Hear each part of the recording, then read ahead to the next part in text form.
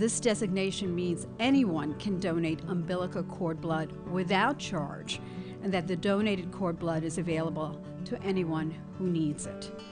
Through the donations of cord blood from families all across our region, we have the ability to save lives through transplantation and further fuel biomedical research. And that's the mission of Upstate Medical University to improve the health of communities we serve through education, biomedical research, and health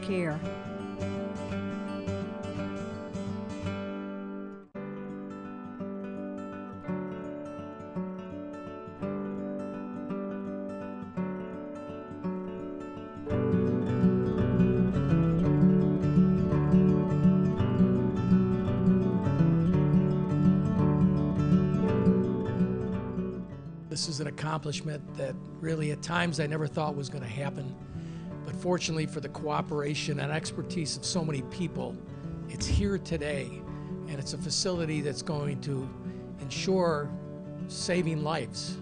The most important thing of what we're doing here today, it's getting the word out so that as many uh, pregnant mothers as possible can learn that this is an option.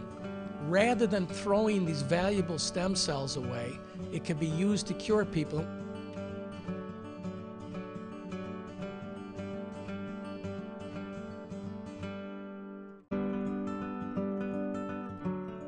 We've been so proud over the last week to introduce our son to our friends and family. But on top of that, we've also been proud uh, to share with everyone that, that we were the first donors to the public cord blood bank. It was really a simple, pain free experience um, that we hope will be able to help somebody in the future. Um, you know, and it's pretty neat. We are proud that our first act as a family was being able to give back. Um, so we hope that this encourages many other families to do the same.